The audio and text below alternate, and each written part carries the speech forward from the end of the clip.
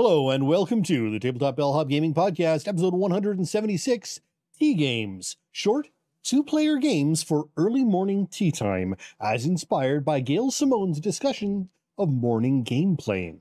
I'm Sean, and here with me, the Tabletop Bellhop himself, Moe.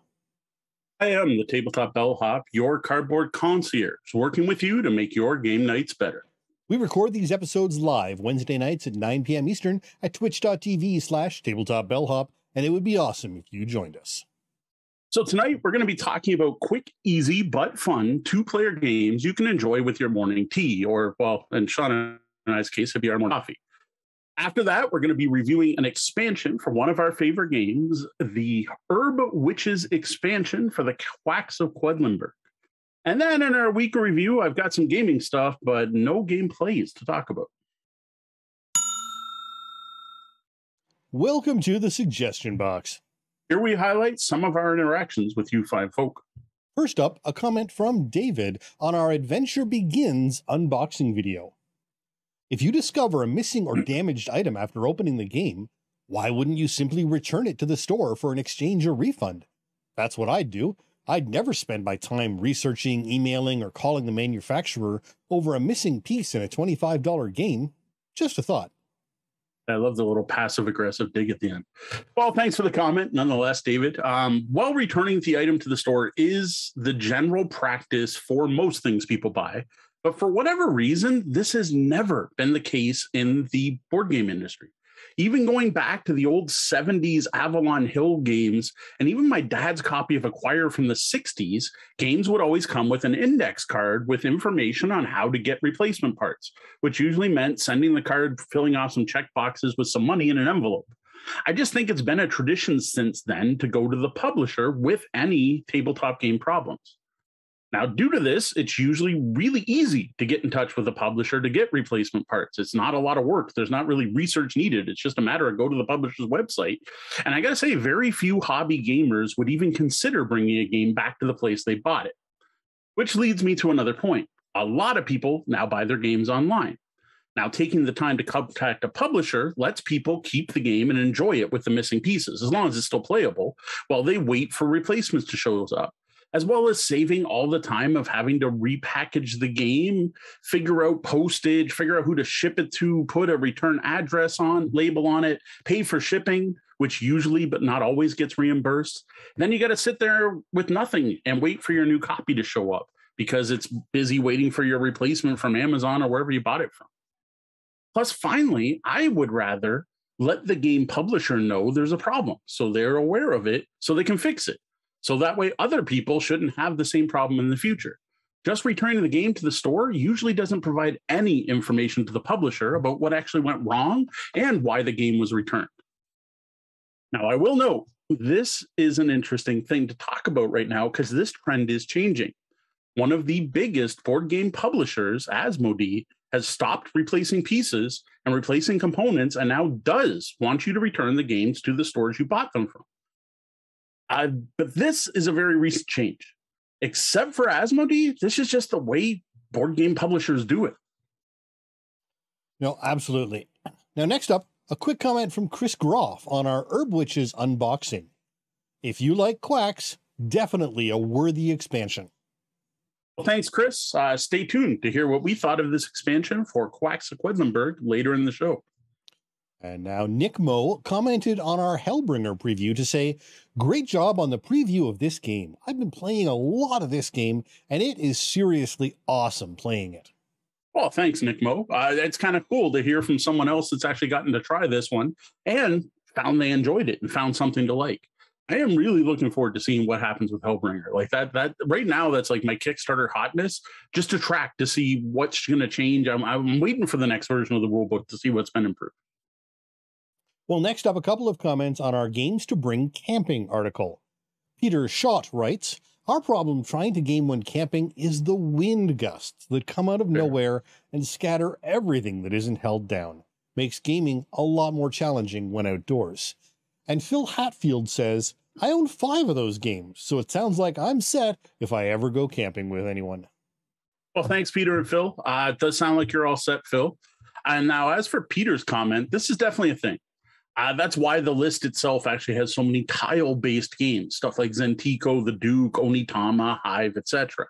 Though I'm now reminded that my dad back in the day had a set of metal playing cards. It was just traditional deck of cards, and he had a magnetic board, and it folded out like a traditional mounted cardboard board, but they're like magnets embedded under the the, the board. It was kind of cool. And my parents used to bring this with them to the beach and camping and pretty much any outdoor event.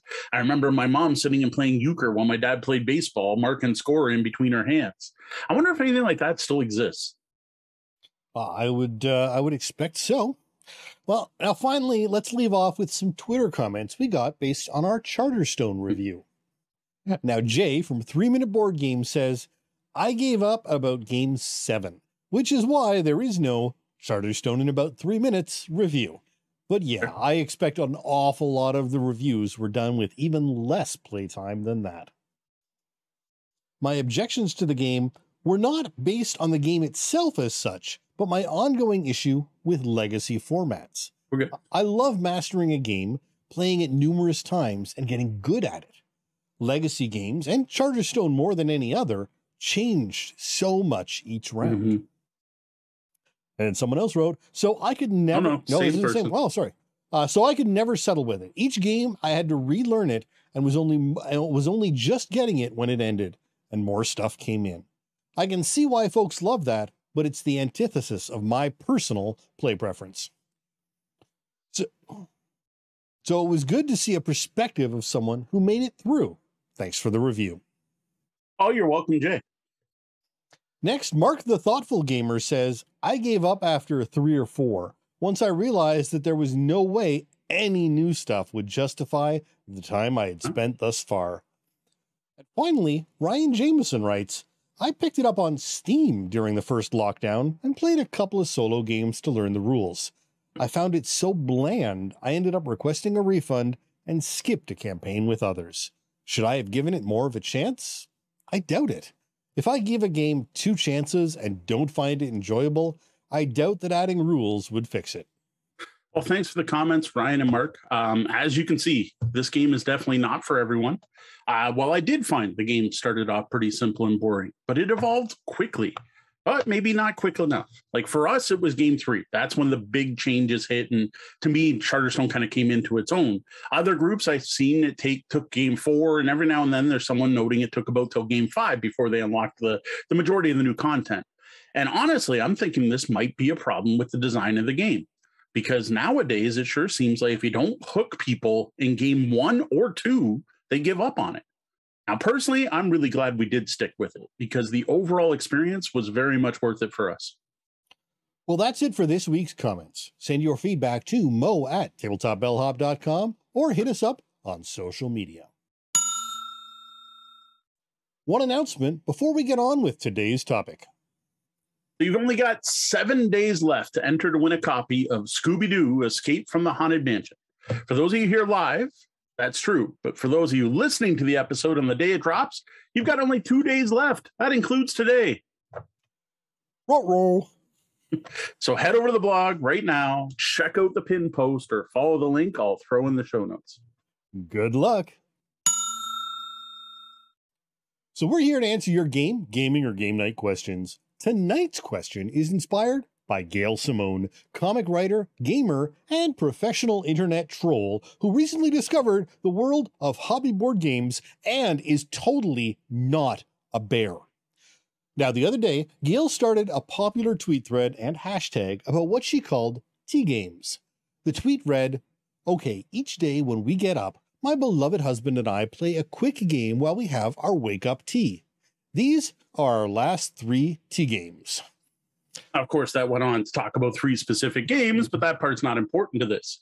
So, of course, this thread started a flurry of activity on Twitter, as most of Gail's tweets do, with all kinds of people jumping in to suggest their favorite games. Now, sadly, as typical of Twitter and most of the internet, most of these suggestions were terrible tea games and included games like Power Grid and Pandemic Legacy and Gloomhaven. But the thread overall was an enjoyable read, and it's been wonderful actually since Gail got into tabletop games, it's been awesome following her feed and watching her I, I discover this stuff like a little kid in a candy store. Yeah, while Gail certainly has great power as an influencer or troll, and her porch gets the sort of deliveries from companies most people only dream of, it has been really refreshing to see that she truly does love Mhm. playing and discovering games.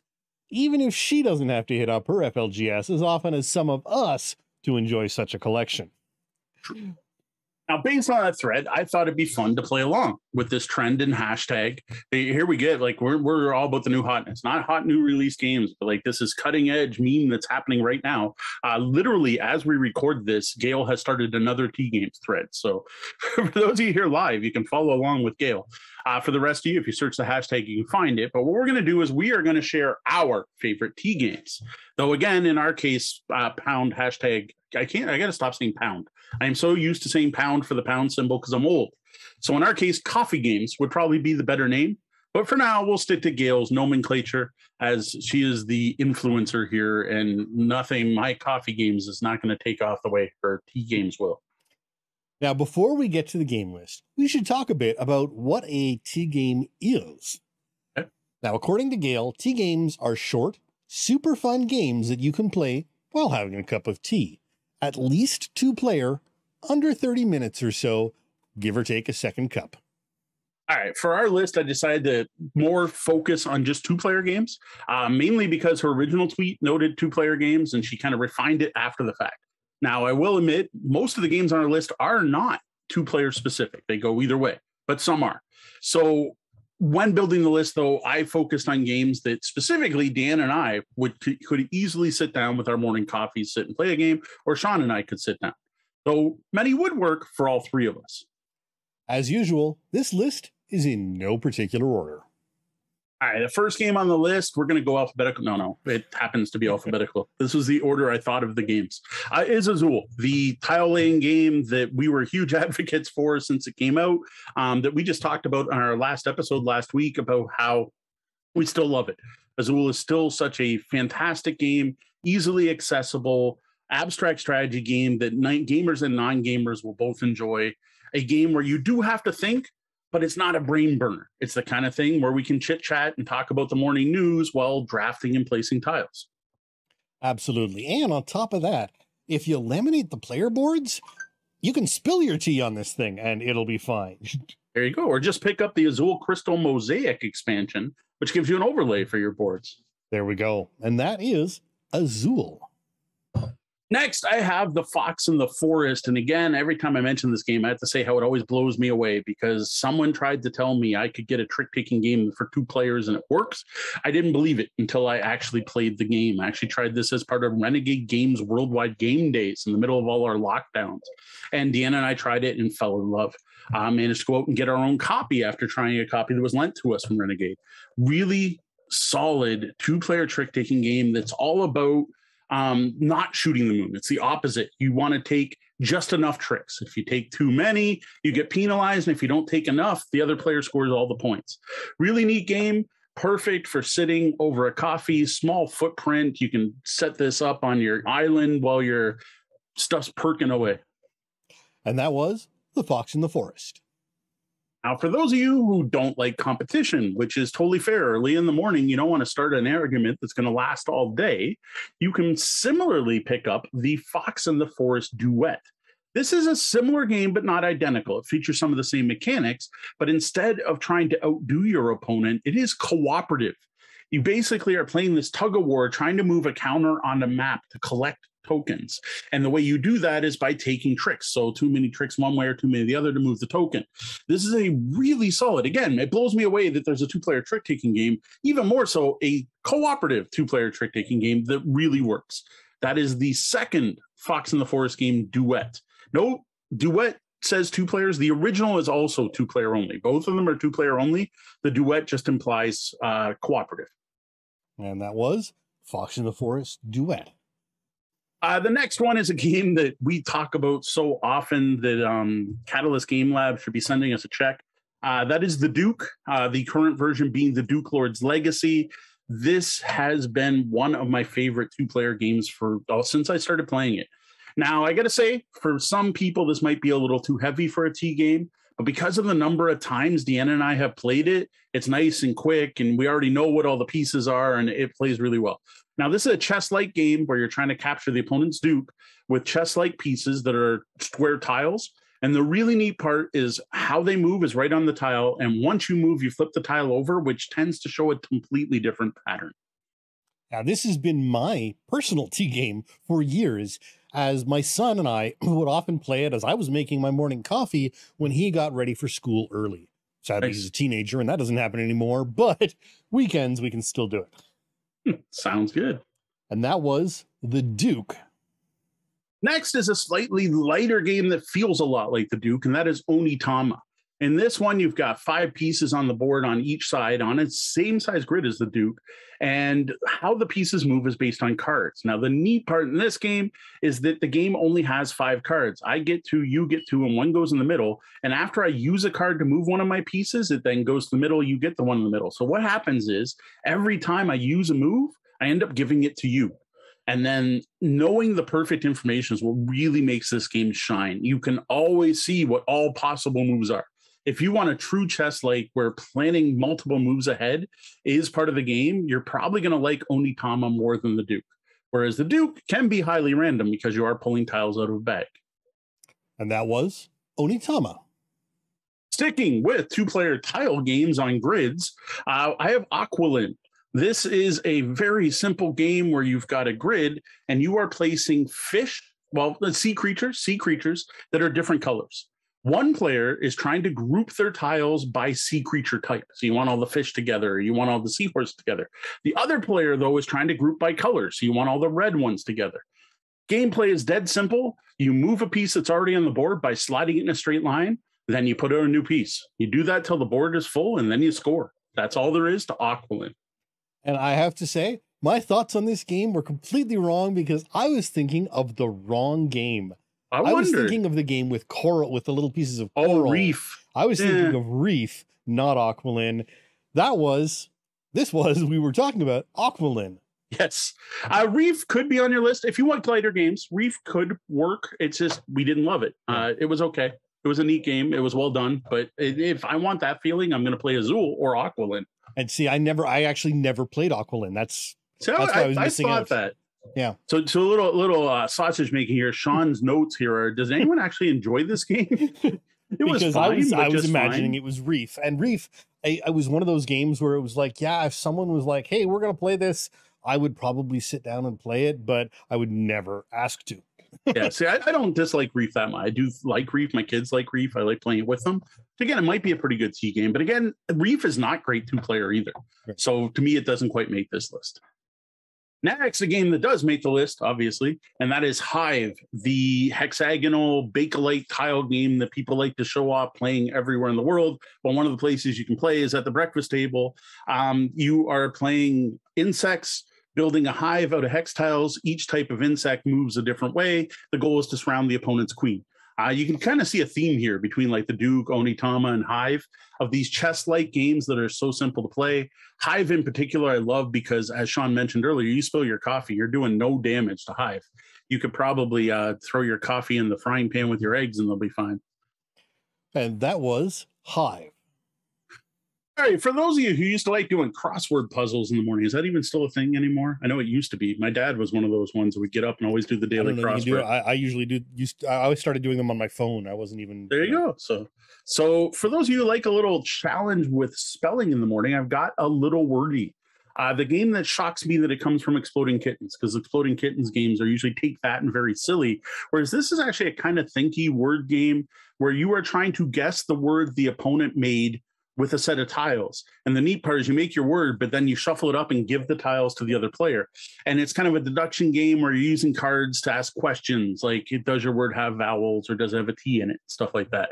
This one is well worth checking out. I admit, like, coming from exploding kittens i wasn't expecting much i expected much lighter and silly and like take that right stab you in the back where it's not that it's this really solid two player quick word based deduction game and that is a little wordy Sticking with word games, I've got Codenames Duet. I always like to point out that this is not a two player only game, so you could technically play it in teams. But for my tea time game, I would suggest this as two players. This is a cooperative version of Codenames. You got a grid of words. You give your partner a one word clue and then a number. Then they're going to point to as many cards as that number that somehow ties them all together. Codenames is a game that's hard to talk about here, but if you saw a copy, I could show it to you and it would make perfect sense right away. This is honestly one of the best two player games I own. This is a tea time game. This is a date night game. This is a play at coffee shop game. This is a great at bars game. I love Codenames Duet. And that was Codenames Duet. Next, a late addition to the list that I totally forgot about until I was going downstairs to grab the games for our backdrop, and that is Ticket to Ride New York. And I think Sean's going to agree with me on this one. Is this is a fantastic low player count version of Ticket to Ride that can be played in like 15 minutes that actually gives you the feel of building those routes and trying to complete the um the, the ticket cards. It is my preferred way to play Ticket to Ride now. And as I said before, even if you don't like Ticket to Ride, it's such a quick game, you don't hate it. It's one way to put it. And that was Ticket to Ride New York. I will point out there are other city versions now. I have not tried them, but there's like Amsterdam, there's um uh, London, and I think San Francisco is out now or it's coming soon. But any of those should work to fill the same itch. Uh, the next one, Rack-O, because Deanna and I had way too much fun playing this, just the two of us at a bar. Now I realize the bar part doesn't really go with tea time, but I can totally see sitting with my coffee, chatting about the day, trying to figure out what appointments there are while just sorting numbers in numerical order. Uh, I, I still, I'm shocked by how good Rack-O is for like a game that's been around forever. I'm totally resold on. I'm now like a Rack-O advocate, which just seems weird as a, a tabletop game hobby gamer that I keep talking about this game, but really solid game. Absolutely. Now, it may be a touch long if you play the Yeah. full 500 count for tea. You Oh, might yeah. want to knock that, uh, knock that, then the, total number down. Just play it. But I mean, it's easy enough to just play a few hands, and Yeah. whoever has the highest uh, score wins when I don't your even- when your chop is Don't even done. keep score. Yeah. Just play Rack-O. Rack-O, yay. And then Rack-O, you got one. Who who won? Do a two out of three. Or first one to Rack-O three times or There two you go. times. And can you guess what the game we just talked about was? Well, it was Rack-O. Yes.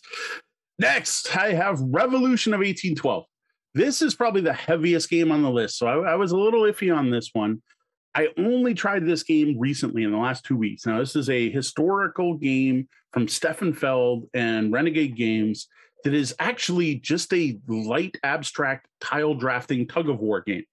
Um, you can toss out the entire theme and just play the game, and it's all about timing, uh, drafting tiles so that you make sure the other player takes the right tile at the right time to let you take what you want. It's probably the best way I can give you a vague overview of this game. Uh, it's all about getting voters on your side and possibly winning over electors, while also doing smear campaigns and potentially getting the attention of the press, which you do not want in this game. Uh, for a quick overview, that's probably about the best I can do. But seriously, this is probably the quickest, lightest, still fun Stefan Feld game. And uh, this is the Revolution of 1821, isn't it? Oh, I typoed. 28, 1821. Uh, 18 something. It's not 1812. Uh, 18, it's right behind me. 28. Sorry, 28. There we go. 1828. 1828. I knew I it wasn't t- 1812. I typoed. The Revolution of 1828. Uh, next, a game Sean taught me and I really enjoyed, and that is Jaipur, uh, trading various spices in for points.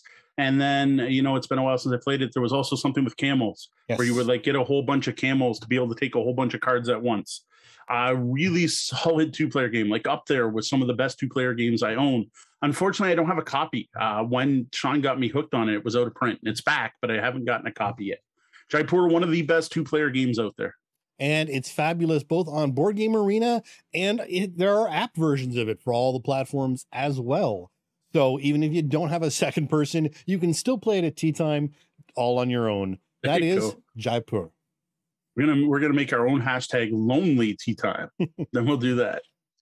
Uh, next is Travel Qwirkle. I guess it could be any version of Qwirkle, but Travel Qwirkle smaller. So I was thinking small footprint, doesn't take up a lot of room on the table. Uh, this is another one, though, it couldn't be longer. If you play a full game to the full point count, you might be pushing that tea time game. You, you might need it. This is this is a third cup morning when you're when you're going to have three cups.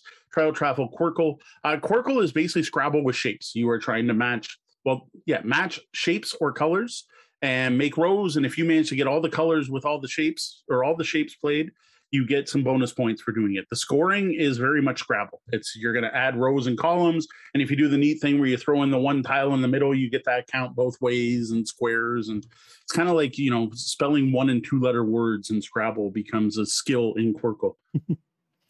and that is Travel Qwirkle. Next is Santorini. Uh, this is one that you just want to leave set, set up somewhere. Like if you have room at the end of your island or whatever you are, your end of your counter where you're having your tea, you just leave it set up. It's this like really cool 3D game that has great table presence where you get this little island and you put a board on top of it that's just a grid and you're building the buildings of the Greek Isle of Santorini, which are very distinct white walled, blue domed buildings. It's a really simple game where you move and you build a layer and then you can start building up and the goal is to get your character onto a third story if you can get to the third story you win of course the other players trying to stop you and they can cap you off and to keep it interesting there are also greek god tiles that you can shuffle at the beginning of the game and give each player an asymmetric ability at the start of the game this is one I think Sean hasn't tried yet that we should break out at some point. No, we we've gotten close to playing it, but we haven't actually done it. Yeah. Uh, and that is Santorini. Next, I have Fuse, the game my wife would not play with me at tea time, but I think could be perfect for a couple. This is a real time game where you are rolling dice trying to match patterns on cards. So it's kind of like a version of Roll for It or the other, or King of the Dice, but except it's real time. And you are just going to roll and you pull out a bunch of dice from the bag, you roll it and you draft them between the two players. And it actually plays really well, two players. And I forget the timer, but I think it's 10 minutes. So if you're looking for your half hour game, you're going to spend five minutes taking the game out, setting it up, and opening up the timer. You can, there's an app, or you can use the timer. Then you're going to spend 10 minutes to play, and then you're going to put it away, and there's your whole half hour. Uh, you might even fit in two rounds. Yeah, no, this is an interesting one, but it's definitely one that some people are going to love and some people aren't. Yeah. But that is Fuse.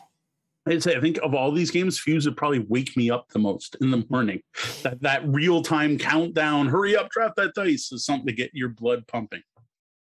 Uh, next, I have Yardmaster. We advocate for this one quite a bit. It's so sad that Crash Games is no longer around to actually get you a copy. But if you can find a copy, Yardmaster, this is a card drafting game. Um, where you're going to pay resources to draft train cars, very similar to Ticket to Ride in that way. And then you're trying to build the train. The trick is that the train cars will only connect if they match the same number as the previous car or the same color. Any cars that don't fit, you have to store in your yard. Now, the neat part is if then later, if you add a train car and the stuff in yard matches up, it all auto attaches, which leads to some awesome moments where you're like, I have three points to I have 12 because I made the perfect combo and everything paid off. We really enjoy this game and it plays surprisingly well with only two players. And that was Yardmaster. Next, I have King Domino. This was another late addition to the list. This is a fantastic area building. I don't even know what you call it. It's not really area majority. It's like you're building zones on a map using dominoes and you're building a fantasy kingdom. And some of these have like crowns on them that score points, and you're going to multiply the crowns by how big of an area you had. But it's all about like here's an area of fields, here's an area of forests, here's an area of deserts, and trying to plan out your kingdom in a really unique drafting system, which two player is fantastic because it's just the way it works where you I draft a tile, you draft a tile, I draft a tile, you draft a tile. And then the order you took them in determines who's going to draft next. And it just works really well. And I actually recommend you can pick up two copies of this game or get Queen Domino, and you can play a bigger version with I think it's an 11 by 11 map instead of a 7 by 7. And to me that's where it really shines. Is the bigger map I found really enjoyable. And that is Kingdomino. And my last tea time game is the Tea Dragon Society card game. Now, Deanna had me toss this on the list as it's one she's played and really enjoyed. This is from Renegade Games, and it's based on the graphic novels and has you creating bonds between yourself and your Tea Dragon. Now, this one won the Origins Award for Best Family Game in 2019. And I had to throw this on the list specifically for Gail because, come on, it's teas, it's dragons, and it's a graphic novel. Like, isn't this hitting every mark right there? and that is the Tea Dragon Society card game. So, uh, that last one is perhaps the perfect tea game as it's a game about actual tea, which leads us to today's honorable mentions, which are all games about tea, which are tea games that may not be the perfect tea games. It all made sense, right? You've got what type of tea games? I just realized we could be totally confusing people. They're going to join in and they're going to want to hear about uh, Teotihuacan and Tawantinsuyu and Tzolk'in and totally different list of tea games. So my first honorable mention is Chai. This is a one to five player game where you become a tea merchant. Uh, it's a little too long and a bit heavy for early morning, but a great theme for a medium weight euro. So this is going to be your evening tea game, and that is Chai. Next is Ceylon, a game about the coffee crisis in Sri Lanka. Uh, I can't say it. Sri Lanka. I don't even know how I got tongue tied on that. Coffee crisis in Sri Lanka. Why can't I do it? Sri Lanka. Sri Lanka. Ceylon, a game about the coffee crisis in Sri Lanka when a fungus killed off all the coffee and various entrepreneurs set about replacing the coffee plantations with tea plantations. Now, this is another longer one that's also significantly heavier than chai. This is not a tea game, though it is a game about tea. And that was Ceylon. Next is Dinosaur Tea Party. Now, this could have made it on the list if it wasn't specifically for three or more players. Now, this one really isn't all that much about tea, but rather the people you are drinking with. This is a social deduction game that honestly sounds like a gamer version of Guess Who, where you're going to ask the other players questions that they have to answer honestly, and you're trying to determine who is who.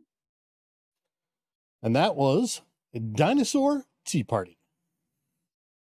Next is Steep Sir, Steep Sears, Steep Seers. I can't pronounce anything tonight. Steep Seers, where you are playing fortune tellers who are reading tea leaves. Talk about a twist on tea games. Now, in this resource management game, you gather ingredients to fuel your visions and earn belief from the people. This one is actually listed as best with four and seems to be a mid-weight euro. So not good for the full list, but an interesting twist on the tea theme and that is Steep Seers. Then I have Humble Tea Party as our next honorable mention. Now, this is a Japanese set collection game that Deanna discovered that looks like a great abstract strategy game that I think the two of us would really enjoy. This is one of those games where everything you do could help your opponents. So it's all about getting the most most you can out of your turn without helping the other player even more. And I've got to say, I dig that type of mechanic. It reminds me instantly of the game Lanterns, which that is my favorite part of Lanterns, is that whole I want to get the lanterns, but I got to give everyone else lanterns. I got to make sure I don't help them too much. And that is Humble Tea Party. Finally, I have Where Am I? Alice in a Mad Tea Party. This game wins for table presence. You actually build a 3D cardboard tea party and you're playing by collecting cups and pots in front of you on the little table. Uh, there's also a deduction element because the whole point of this game is to score enough points without anyone guessing who you are based on what you're collecting in front of you. If you do, if someone does guess which character you are from Wonderland, you lose all your points and are out of the game. And that is Where Am I? A Alice Alice in a Mad Tea Party. So that's it for our list of tea games. I hope you've discovered something new to play along with your morning drink. Remember, we're here to answer your gaming and game night questions every week. If you got a question for us, head over to the website and click on Ask the Bellhop or fire off an email to questions at tabletopbellhop.com. Hello and welcome to our review of the Herb Witches expansion for the Push Your Luck board game, The Quacks of Quedlinburg. Like Quacks itself, the Herb Witches expansion was designed by Wolfgang Warsch. Features artwork from Dennis Lohausen and was published in 2019. Well, that doesn't actually match Quacks, but the other parts do. Um, who the publisher is is going to depend on where in the world you are because this game has something like 13 different publishers currently. Now, my copy comes from North Star Games. In the US, this expansion has an MSRP of $39.99. And unlike the base game, this is currently available for purchase, at least when this is going live. Now, the Herb Witches adds a number of optional modules to your games of the Quacks of Quedlinburg. This includes the ability to play with five players, a new ingredient called Loco Weed, six point pumpkins, overflow pots, and three kinds of herb witches, which offer rule breaking powers that can be invoked once a game by each player. In addition to this, you also get new recipe books for all of the original game's ingredients. For a look at what all this looks like, check out our The Herb Witches unboxing video on YouTube. I have no complaints at all about the component quality here. All of the new cardboard is nice and thick and well cut, and most importantly, matches the quality in the base game, which is important because this is a bag builder and you don't want them to feel different. The new rules are only four pages long and very clear, and everything you get in this box will easily fit into the base box. Pretty much exactly what you would want out of a Quacks expansion. Mhm. So everything looks great. How do these new modules play out? What do they add to Quacks? All right, so let's take a look at each of these things in turn, starting with the stuff for playing with five players. You get a new player color, black, and all the stuff that goes with it, including additional white, orange, and green chips, as well as rubies, so to not mess with the distribution.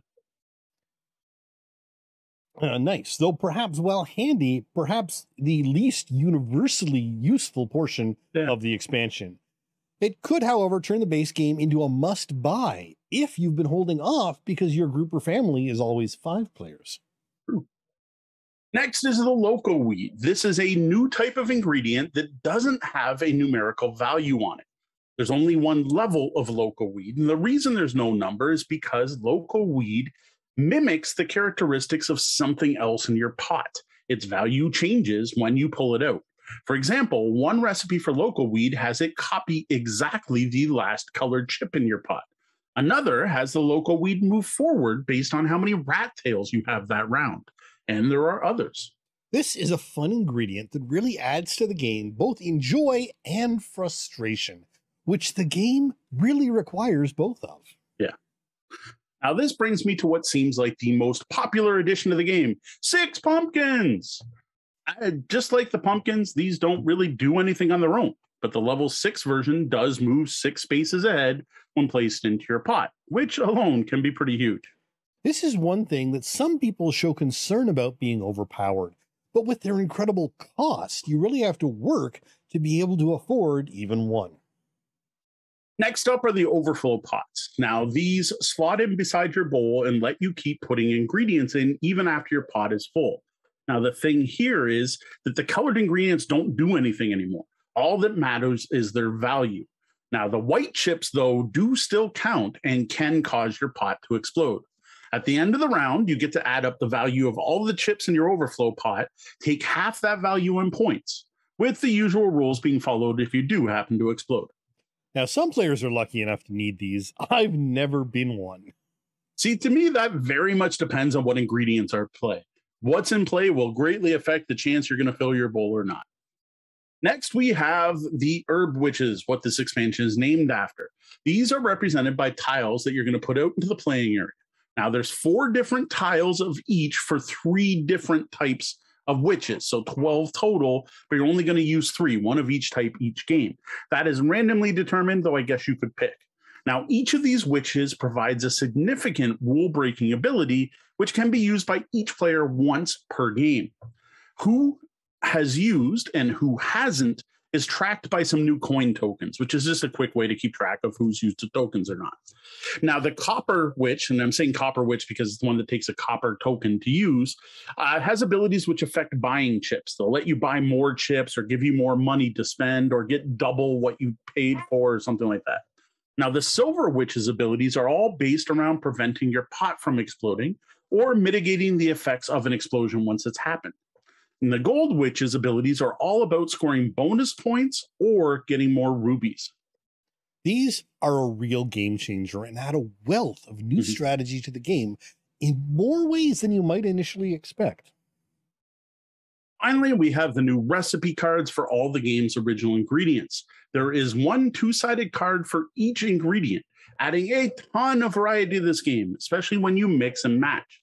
Now, there's no way I'm going to go through all of these, but I will say it was interesting to see quite a few that now let you do things immediately. You place the ingredient, then immediately take points or immediately take rubies.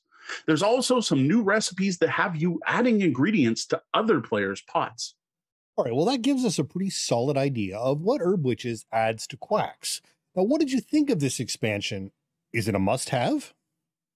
It's, close. See, I wouldn't go that far because to me, a must have expansion is one that like fixes the base game, that now makes it playable or now makes it amazing. And I, the base game's garbage without it. And that's not the case here because the base game of Quacks is still fantastic. I would happily sit down and play someone's copy of Quacks without the expansion. I'm not going to go to my friend's house who, who doesn't have the expansion be like, no, I don't want to play that because I don't like it without the expansion. Now, what I will say is if that expansion's available, I'm going to use it. it. To me, this is a why not have. If you have Quacks, you're going to want to pick this up. I can't see anyone who likes Quacks not finding at least something, if not the majority of these modules, being enjoyable and wanting them in their game if you didn't like everything. All right. Well, how about you and your group? What did you think about each of the new modules added to Quacks with the Herb Witches? All right. So sticking with the same order above, being able to play five players is cool. The only warning I have here, and this surprised me the first time it happened, is adding a player adds more playtime than you'd expect. Like I actually thought this is a simultaneous play game. Everyone's pulling out the chips at the same time. Adding a player is not going to change anything. It's going to be the exact same game length, and that's not true due to things like AP when shopping, doing the math in your head, trying to calculate your odds, and then even just like at the end having to count up a pot, going, "Oh, do you have any greens? Oh, do you have any of this?" Or even calculating rat tails every turn. You've got one more player to do it for. You end up doing this so many times that every little bit of more time adds up to make a longer game than you'd expect overall. And the simple fact that not everyone has five players to play with. I can see this being one of those aspects that you either need or never touch for your average group. Oh, I can see people just preferring the black player color. You got gots in your group, they'll throw out the yellow and play the black instead. So you might still get a use out of it, even if you only have four players. Now, local weed, it's cool. Um, someone's going to clip that, aren't they? I like having a wild card ingredient in there that I can also work as a catch up mechanic depending on the recipes. Uh, the one specifically that's going to give you, it's going to go as far as your rat tails, is great as a catch up mechanic.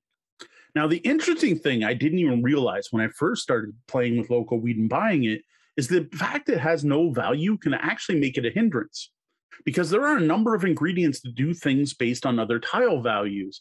And often with those, if you pull a local weed, that value counts as nothing or even earlier we were talking about if you're using the overflow pot well they have no value on them. So throwing local weed in your overflow pot is useless. Due to this the value of local weed is actually going to be very dependent on what other recipes are in play. Sometimes it's going to be massively huge and everyone's going to want one and in other games they may seem near useless. It really is a missed blessing but then again so many aspects of quacks are that. Six pumpkins I'm not feeling the love everyone else seems to have for these. They're okay. Uh, they're expensive, but they can really pay off if you draw them because you're probably not going to have a lot of them. And again, their value is going to change based on what they're paired with. If you've got a local weed that jumps up the same amount as the last token you pulled, that makes that six more powerful or that local weed more powerful. If you happen to have the mushrooms in that are based on how many pumpkins are in your pot, sure, why not have more six pumpkins? If I was going to remove any part of Herb Witches, if it was like, you know, you can only play with four of the modules or something, this would probably be the first for me to go. But I don't mind them. And honestly, I just don't buy them in most games. If other people want to buy them, all the power to them. You know, for me, the, their cost put me off them. I'm not sure how many people can afford to love them. Yeah. For people who know Quacks, not the expense, they cost 22 each. 22 is a lot of money. I can usually buy two level two ingredients for that much, and two level two ingredients versus one pumpkin, that's a hard sell for me. Yep. As for the overflow pots, they're neat. Um, I gotta say, I my favorite part of them is just how well they slot into the existing art. like the way they snap on and look like they belong there, which is just a feature of the game already, right? Like the way the potion stands on the stand and there's a little spot to put your rat tails. I love the graphic design of the game and I love how well this fit in. It's just like, oh, that always belonged there. Um, as for gameplay, they're okay. Um, I do know with a few ingredient combos, pots can quickly fill up, especially ones that let you pull chips from your bag and only place one, the ones that reduce your odds of blowing up. So these are great to have in case that happens. Um, we found that while they do award some points, they're not like game break game breaking. It's not like, oh, you got to your overflow plot, you're gonna suddenly be the runaway leader. Overall, I just don't see any reason not to use them. Yeah, you know, they're great to have, have if you need them, they don't hurt if you don't. Like the fact that there was nothing, like you just there was the end of the yeah, pod and stuck. that was the end. You're like, I'm done. That that was kind of broken. And so in some ways, uh, you know, this one specific portion of herb witches does actually fix something from the old game. Now, the witches, they are my favorite part of this expansion. Uh, the abilities seem like a great counterbalance to some, but not all, of the randomness of Quacks Quedlinburg the ability to mitigate one bad draw is a great thing. And now I think there's now other ways to get points. Like the fact that there's a witch where I can get points that has nothing to do with the specific combos or, or recipes that are in play. It's just a matter of getting points for your variety or the numbers of them you have. Doesn't matter what they do. I dig that. I like that there's a different way to play. It's a different strategy when that witch is in play. I also like that there's a reward for not using the witches and just keeping your coins. And that reward for not using them is actually a key point here. So not only is the timing of when you might choose to use a witch important, but the fact that you're rewarded for not using them makes you question how badly you really need that advantage as well and just adds a great new uh, dynamic of thought into the game finally, there's the new recipes for existing ingredients, and all I can say is yes, please, more, please, give me more recipe cards. Because every recipe that's added to this game adds an exponential number of new ingredient combinations and more possibilities in the game, making it more replayable. I am pretty sure you could play Quacks every day and never play the same game twice by mixing these up. I don't know how many possible combinations there are, but I know it's more than 1028 that we got to with Istanbul in the expansion. It's more than that now because there's six different, well, for most of the ingredients, there's six different versions. A, st- a st- statistician's dream, I'm certain. Yeah, if anyone out there actually knows the possible, I bet you I can find it on Board Game Geek. Someone's probably done this as a thread on Board Game Geek. Now I will admit, someone don't like the black, the the black moths, whatever it's called, death head moths there's only four versions of the pumpkin. There's only well, there's technically two because you could have the sixes in or out. But like the the reds and yellows and blues and all the standard ones, six different types. Now, as for what I think of these new recipes and how they work, I, it's a mixed bag, but that's to be expected. I found the ingredients in the original quacks to be kind of a mixed bag. There were some I like playing with more than others, but that's different than what Deanna liked playing with, and that's different than what my daughter Gwen likes playing with everyone that plays this, I think, has their own favorite ingredients. And having more variety just gives you more to choose from. I love some of the new recipes. My favorite is actually the new purple, the new ghost breath that gives you buying power based on what victory point spots your purples cover.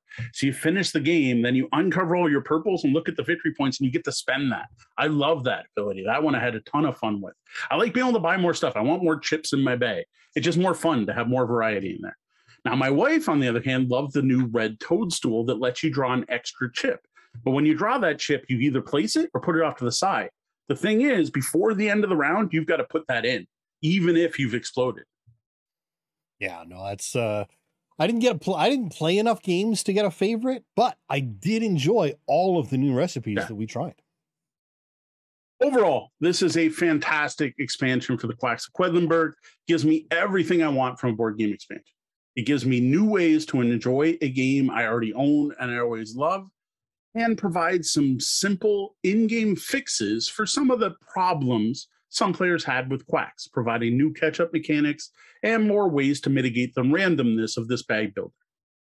Now, usually when I get an expansion that features a number of modules you can mix and match, use or not use, there's one or two I don't like, a few I like, and at least one I love, and one I will use every game going forward. In this expansion, there's nothing here I don't like. There's nothing I wouldn't just leave in.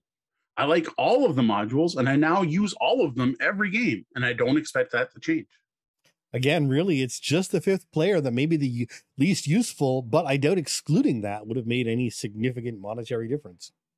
Yeah, I keep forgetting, honestly, like even while talking about this, the fifth player is like a module you can add or remove. I'm just like, hey, yeah, you also get to play five players. Like to me, that's the it gives you all this awesome stuff. Yeah, yeah, and you can play five players. Yeah, but it, I, again, if you're if you're a family of five, you may have never considered buying quacks. True. Until the the ability to uh, play with five emerged. Totally fair. So while the base game of Quacks is fantastic and still a solid game on its own, it doesn't need this expansion, but I don't see why you wouldn't get it. I don't think anyone enjoys Quacks wouldn't want to own this. If you own and enjoy Quacks, just go out and pick up Herb Witches when you get a chance. I don't see any reason you shouldn't. Now, where the big question comes in is for people who don't own Quacks of Quedlinburgs.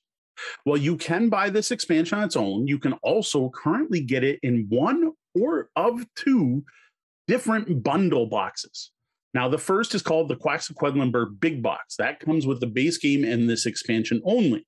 But then there's also the Quacks of Quedlinburg Mega Box. That comes with this expansion and the Alchemist expansion. Now, personally, I do recommend at least getting the big box or find some other combo where you're going to get the base game and Herb Witches together. I really do think this expansion makes the base game better and it's going to be worth it. If you enjoy the game at all, you're going to like this additional content. As for making sure to get Alchemist, I've heard very, very good things about this game. Everyone tells me it's a must have, everyone tells me it's great, but I haven't actually tried it myself to be able to tell you for sure you should rush out and get it. Of course, with the demand for this game high, please do check prices mm-hmm. and don't get caught paying ridiculous secondary market prices. They are between printings on the base game itself right now, but more will be coming. And I will assume that the reprintings will be the mega box. I have a feeling the big box probably won't be reprinted because it's kind of like a middle range. But yes, don't bother. You never should pay for more. Like as long as the company is currently putting in, and I can guarantee you, they are printing a new edition of this game. This is not a dead game. You don't need to pay the eBay prices or or other things. Check your local game stores too. Just because the game's out of print doesn't mean no one has it. It just means that generally the big online stores don't have copies. Now, finally, there's another group of people who might want to check this out, and that's based on my wife's opinion on Quacks. See, Deanna wasn't a big Quacks fan. She knows I like it, and she knows the kids like it, and our regular game group likes it, so she would play it, but it was never a game she'd recommend. Now, that changed once we started playing with the herb witches. Her main complaint about quacks was the lack of player agency. And she found that herb witches, with its new ingredients, more options, and especially the herb witch powers, gave her a sense of control that she found missing in the base game. So if you played quacks and thought it was okay, or maybe thought it was a little too random, or you felt you didn't have enough player agency, you might want to see if you can find a way to try it with herb witches. This expansion might just be what it takes for you to also dig quacks as much as some of us do. Well, that's it for our review of the Herb Witches expansion for the Quacks of Quedlinburg. Have you tried this expansion? What did you think? If not, what are some other expansions you think are perfect additions to their base games? Tell us about it in the comments below. And I also invite you to check out my written review of this expansion over at the Tabletop Bellhop blog. And now the Bellhop's Tabletop, where we look back at the games we played since last episode.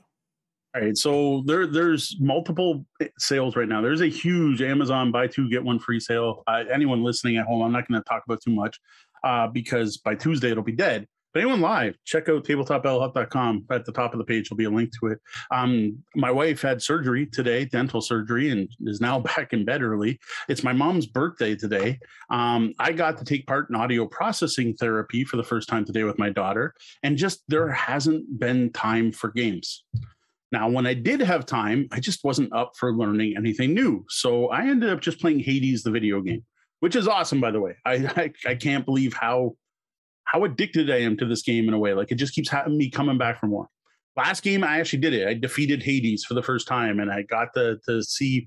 I can't even say the end game because I don't know if it's the end game, but I, I got out of of the underworld and got to the surface and got to visit Greece, and something happened, and then I died, and then I'm back at the beginning again because that's what this game is.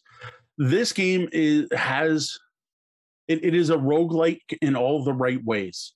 Um it has that just one more run feel. The the i i i've done it. I got back. I talked to everyone. Okay let, you know what? Let's do one more run. There is something magical in this game. Like I, the designers did that whatever it's a dopamine hit or whatever it is you know? The app gamers are really good for doing that right? Like just giving you that little reward i'll give you one extra cover oh your cover actually unlocked this you might want to try again to get another thing uh, it just does that magical thing where if i sit back and I'm like, but I'm running into the same randomly generated rooms, fighting the same bad guys over and over. And yeah, I'm choosing which way to go, but I'm just like, why? Why am I still enjoying this? Like even last night, I'm playing and I played for and for a long time, like over an hour, and I finished, and Deanna was watching me because this is the other thing that makes no sense. I'm the one playing, and this is this is a button masher. This is a run around and kill things, uh, single player Diablo thing, right? And Deanna's just watching and enjoying watching me just kill these random monsters, but like invested, like, oh, what god are you going to see? Or oh, are you going to choose to go see Hermes, or are you going to get some coins to go see Charon and see if you can buy something? And he's like invested in watching me. So like whoever designed this game, like proed on the make you want to keep playing. And then we finished it, and I'm like, all right. And then I get back, and I'm like, oh, look, I unlocked this new thing, and I don't want to describe it, but there's a new thing when you go out the door. And Dee's like, well, you got to check that out. And then I find myself checking it out and going out into a room and doing another room and getting through all of Tartarus and getting to the next floor. And I seriously, I, I and I am not a big action game fan. This is not generally my style of game. So Darkling Blight mentions you have to get to the surface a few oh, times sure. to unlock more of the story. I am certain that is exactly it. Like, like, like, and there's just there's the stupid little things you don't expect from it. Like they added fishing which spoiler i don't know if spoilers matter in this game i don't know if people care about spoilers but like all of a sudden now i can catch fish and i can bring them to the the chef and i don't even know well and it sounds just, what really what really this says to me what your description says to me is they made a perfect streaming game like with d yes. being able to, to, oh, to watch yeah. like that this is a game made for streaming no seriously Maybe I I don't even know how to stream on my PlayStation 4. my only regret is that I got it on the PlayStation 4. And the only problem with that is my Sony PlayStation 4 does not work well with my Sony Bravia TV, which makes no sense. And the image is larger than the the, the, the display area mm. in all PlayStation 4 games and there's like a thing in the bottom right that has numbers, which I assume is telling me like how many potions I mean, and how much money. Screen, there should be a screen size adjustment. There is on the Xbox. I've never played. I've never used a PS. There is, but it gets overridden by some games. Oh. This is one of those games. That's weird. Because I went and shrunk it, and it's still hmm. so like there's numbers that show up on the side that you kind of want to know. I can't see them at all. Ouch. And it drives me nuts. And I just I I wish I had gotten it on a different console. So I was thinking I did no gaming besides digital, but you know what? I did realize that it, this is gaming related. I didn't play a game, but since the last time recorded, I did get four unboxing videos done. And I built the dang folded Space Clans of Caledonia box insert. It's done. It's recorded. We'll put it out live at some point when Sean has time to edit it and I can find some kind of Scottish background track to throw in there. um, we unboxed Scythe, the Aztec expansion for Imperial Settlers, which I think when I was unboxing that, it says the second expansion. No, it's like the fifth. So I'm like way off on where it is. Um, Lignum, super heavy game about wood. Predaporter or Predaporte or however you want to pronounce it. Super heavy game about uh, fashion. Super heavy economic game about fashion. And well, I did the box insert build, which actually went way better than the last one I built for various reasons. Uh, it went well. Uh, what I should have did is taken everything out of it. Hopefully, nothing's glued into those containers. Yeah, but you I, almost you almost need to do a a, a build video, go and then the, the next day do a build. I, just, I worry the, about like the light quality and everything being different, and yeah. I guess it's not that big a deal. What I did find is the trick is if you put it on the this LED produces enough heat that it actually worked really well. There you go. Like as part of it, I put two of it upside down on top of that, and that actually worked really well. Go. I Uh, will say I don't I, I don't know if I'm what did we do for the previous one? The one that worked. Did we do a full review on the show? Or did I just review it quickly on the blog? I don't think so. I, I reviewed it on the blog. I just what I, don't did is I took I took the YouTube video and I embedded it with like a lot more text underneath Right. saying I like this aspect, I didn't like that aspect. yeah, I So I, I what I do want to pl- do is play using it, but I got to say it's definitely better than my baggies, guaranteed. Yeah. Though there's stuff I would have liked better, but then once I play, maybe I, I will feel different. Sure. That's it. Um, sorry, no board games this week. all right. Well, how about a look ahead? What do you have planned for the coming weeks? No board games anymore. Ever. We're done. No. Um, I think Cat and Tori are coming over this weekend. We missed last week, right? So I think they're coming this week and then missing last next week. I think that's what's happening. I can't remember, and I didn't check to confirm. So I think they're going to be here. So we're going to get to play some games. Um, assuming it's they're going to be here, not here that week after, we are supposed to start the One Ring. I'm glad we weren't supposed to start this week because I got swamped and I haven't pre-read the rules and that that is a, a RPG where I plan to prep. It is it is not a light improv dungeon world play to see what happens. I will be running a pre-printed module by Obi Spawn Kenobi.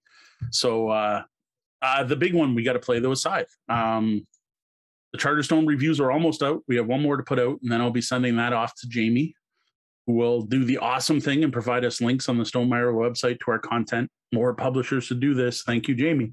Um, Scythe, I read the rules. Um, I think I played it wrong when I played the last time, or I just totally misunderstood one aspect of the game, which is highly possible. Um, what I'm hoping, and I don't know if it's going to fit because this week has been terrible, is I want to play a two player learning game with Deanna before playing with Tori and Cat. Like, I, I don't want Tori and Cat's first experience of Scythe to be me fumbling through the rules. The Um, extreme play, right? Yeah, I'd, I'd really rather not do that because it is not really their style of game. And yes, I have broadened their horizons quite a bit. Like up until Charterstone, Cat thought she hated worker placement games. So this is also a sort of worker placement game. Of all things here, I would have never thought I'd say this before. The worker placement mechanic is the one from Villainous, where you have different actions, like four different actions. You have to move your pawn. It can't stay in the same place. So it is worker placement ish, but it's you have your own board as opposed to you know taking up a spot. So it'll be interesting. Um, I am looking forward to seeing if Scythe is better than my previous experiences with it. Um, that's the only one I actually read the rules for. So I don't know if I'm going to get to any of those other ones. Um, I know D is actually like hyped to play Lignum and Pret. So I don't know if I'll get to those rule books or not. Hopefully things will get a little calmer around here. It just it, it's it's a busy time of year, I guess. I don't know. And now a quick shout out and a thank you to some of our VIP guests, our Patreon backers. We greatly appreciate their support. Welcome, Mechanical Muse, the latest tabletop bellhop Patreon patron. Matt Lichtenwaller, thanks, Matt. Roger Malash, thank you, Roger. Zopi, thank you. Brian Sheehan, I know he got my copy of Watergate, so it did show up. Thank you, Brian, as always, for your support. Well, that was the double bell. That means my shift's coming to an end, and we're going to have to lock the front doors. Though the doors to the lobby are closed, you can always find us at tabletopbellhop.com, all over the web as tabletopbellhop, one word, and on your podcatcher of choice under Tabletop Bellhop Gaming Podcast. Like Mechanical Muse, you can show your support at patreon.com slash tabletopbellhop and sign up for awesome bonus content, including hours of bonus audio. Well, that wraps up the time we have for the show tonight. Thank you, lobbyists, for joining us, and I invite you to stick around and join us in the Penthouse Suite after show. For Tabletop Bellhop Gaming Podcast, I'm Sean. And I'm Moe. Thank you, and, And game on.